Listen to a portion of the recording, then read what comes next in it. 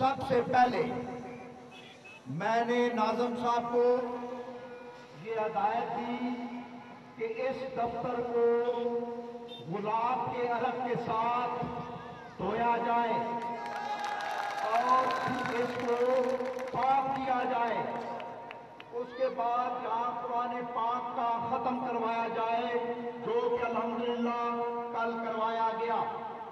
آج یہ دفتر منافقت سے، ریاکاری سے، جھوٹ سے، اللہ کے فضل و کرم سے پاک کر کر ہم اس میں داخل ہوئے ہیں اور میں اٹک کے عوام کو اور بالخصوص تحصیل فتح جنگ اور فتح جنگ کے شہریوں کو یہ مبارکباد پیش کرتا ہوں۔ انشاءاللہ انشاءاللہ ہمارا دور بہت جلد آنے والا ہے اور جو زیادتیاں، جو مہنگائی جو بے روزگاری جو تکلیفیں جو مسائل جن کا سامنا ہمارے لوگوں کو ہے۔ اس کو انشاءاللہ تعالی آپ کا بھائی میجر طاہر صادق اپنے تمام بھائیوں اور دوستوں کے ساتھ مل کر شانہ بشانہ اللہ کے فضل و کرم سے ان کے ساتھ مل کر آپ کے مسائل کو حل کریں گے۔ پورا ضلع ہے۔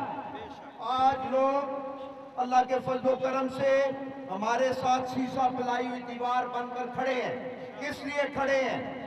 اس لیے کھڑے ہیں، اس لیے کھڑے ہیں کہ اللہ کے فضل و کرم سے لوگوں کے مسائل حل ہو رہے تھے۔ لوگوں کو روزگار مل رہا تھا۔ لوگوں کو مہنگائی پہ کنٹرول تھا۔ لوگوں کی تحصیل تک تھانے تک سنوائی تھی۔ اب آپ کے سامنے حالات